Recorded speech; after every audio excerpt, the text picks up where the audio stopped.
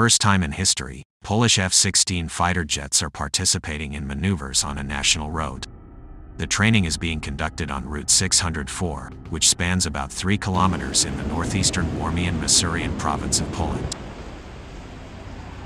The exercises focus on teaching pilots to use a public road as an airstrip, with the military exercises focusing on landing and takeoff procedures. This training, overseen entirely by the General Command of the Armed Forces, will help ensure that in case of a crisis, Polish aviation can still operate even if their primary airbases are destroyed. After the first day of training on Monday, videos involving the F-16s began to create a buzz online.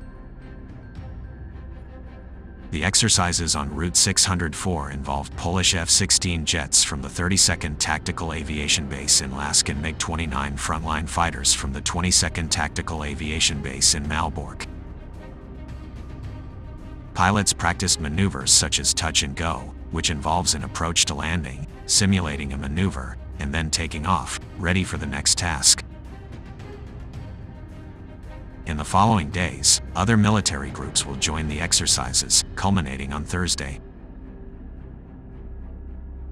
These are the first such exercises in Poland in 20 years.